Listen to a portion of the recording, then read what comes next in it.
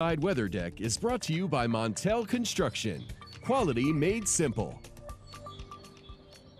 Well, howdy, West Michigan. I'm meteorologist Aaron Offsire. Mostly cloudy skies right now. It is awfully windy outside. We just saw a wind gust in the Muskegon area to 59 miles per hour.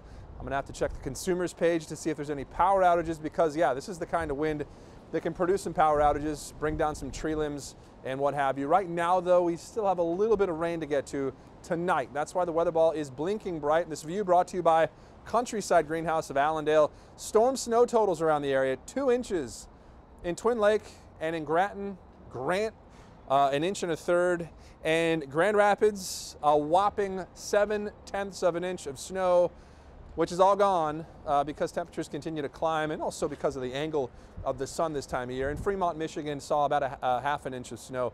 The lakeshore, generally speaking, saw uh, lower snow totals than that. And take a look at this, unbelievable. 59 mile per hour gusts in Muskegon.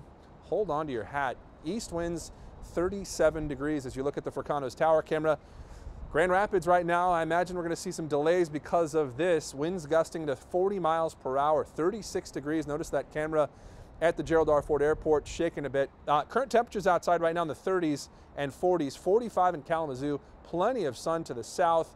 It's 34 in Ionia and 33 in Big Rapids. Winds, current winds right now, ridiculous. Out of the east, uh, gusts to 41 in Holland, 35 in Kalamazoo. Unfortunately, this is going to be an issue not only today, but likely into the weekend as well. So uh, a little bit of precipitation is starting to clip uh, the uh, lakeshore counties. So this is going to begin to arrive in Oceana and uh, Mason counties. A little bit of light rain or light snow in the next couple of minutes, but most of the precipitation, the main event, so to speak, is this, the cold front from eastern Iowa into northern Missouri. This begins to arrive early tomorrow morning.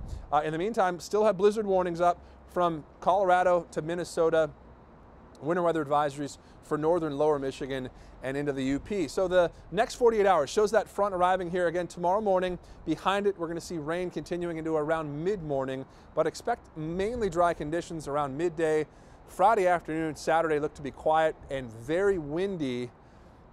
And we're also concerned not only with thunderstorms, but also very heavy rain, an inch, an inch and a quarter potentially with uh, some of the higher amounts from this system, which is well to our east by Friday afternoon.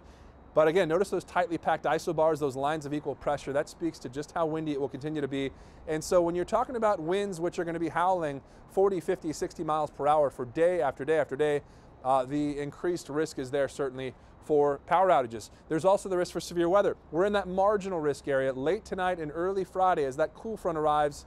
Large hail and damaging winds unlikely, better chances in yellow, uh, Chicago, Peoria, Peoria south. But the main threats from this line of storms will be from extremely heavy rain and some lightning. So here's your 13 on target forecast. Our northwest counties again could clip, get could get clipped by that uh, precipitation here in the next hour or so. So heads up, Shelby, Hart, Pentwater, Ludington. Uh, but most of the afternoon is dry and windy. Overnight and early Friday, we'll watch that cold front arriving. Rain could be heavy at times, maybe a rumble or two of thunder. We'll get a break Friday afternoon and Saturday. Windy and another round of rain on Sunday and then very stormy the next week to 10 days. We're back in the 60s Tuesday and Wednesday with more rain and falling temperatures.